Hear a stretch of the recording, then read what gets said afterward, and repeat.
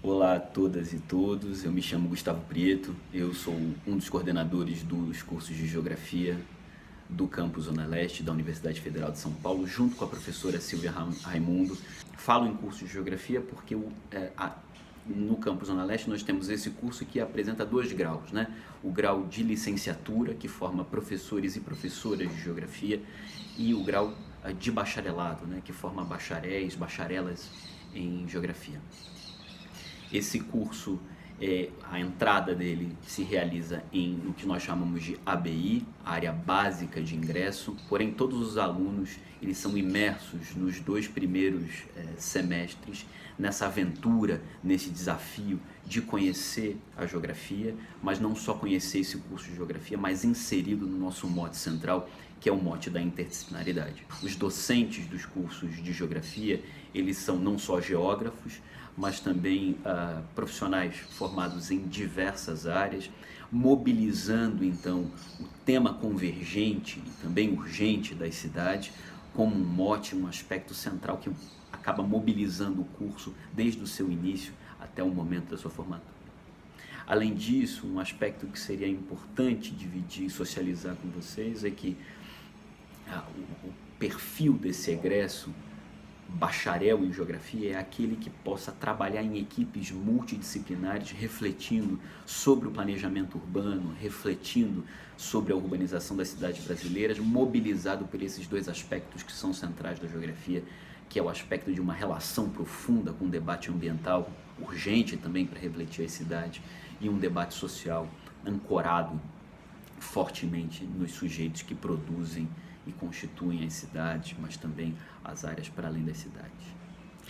Uh, o professor de geografia, ele tem um perfil de egresso, o professor e a professora, no seu final, como aquela, aquele profissional que não só trabalha e reflita sobre a, a escola e os espaços educacionais, mas que reflita nessas escolas e pense sobre essas escolas criticamente inserida num contexto urbano, pensando esse equipamento escolar como um equipamento central para a gente pensar novas formas de planejamento urbano, novas formas de entender as cidades. Um outro aspecto que me parece importante para finalizar é que o campus Zona Leste tem uma perspectiva extensionista muito forte, ou seja, pensar a universidade para fora de seus muros, né? em relação, em diálogo com a sociedade, que é o nosso principal objetivo numa universidade pública, gratuita, de qualidade, socialmente referenciada, aspectos prioritários para nós do campus Zona Leste e dos cursos de geografia. Então convido a todos a serem futuros geógrafos e geógrafas que pensem a cidade como uma problemática central em contato, em diálogo, em participação ativa com a sociedade e os espaços que essa sociedade habita. Obrigado. A grande vantagem do curso de Geografia para mim é a sua novidade. Por estar localizado no Instituto das Cidades, tem justamente a premissa de pensar a cidade de forma diferenciada, democrática e dialética.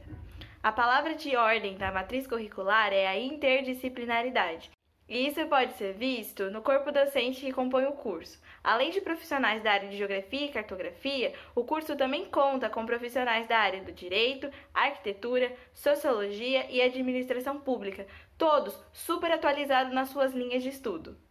E se você acha que o diálogo é só com as áreas de conhecimento, você vai se surpreender. Aqui na Unifesp, o debate extrapola os muros da universidade. As atividades de ensino, pesquisa e extensão têm por objetivo produzir conhecimento acadêmico, mas principalmente atender às necessidades da comunidade, em especial a comunidade periférica.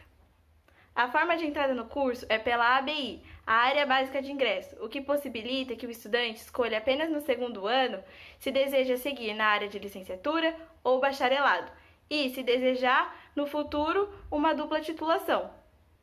O licenciado em Geografia pode atuar em todas as áreas da educação no setor público e no setor privado. Com o bacharel não é diferente. O profissional é constantemente requisitado para compor o planejamento urbano, tanto na questão de solo, transporte e sustentabilidade. Então é isso. Eu te encontro na Unifesp, mais especificamente no curso de Geografia, para a gente dar continuidade a essa conversa. Tchau, tchau, um abraço!